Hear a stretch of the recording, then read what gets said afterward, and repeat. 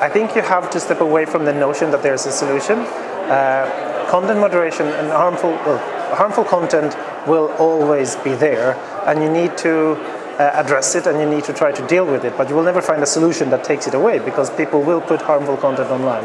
And as long as we have free speech, we will have uh, harmful free speech. And that is unavoidable.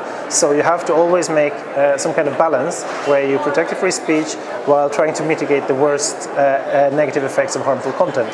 And there's not a silver bullet for that. You will have to go field by field uh, and see how to deal with specific problems.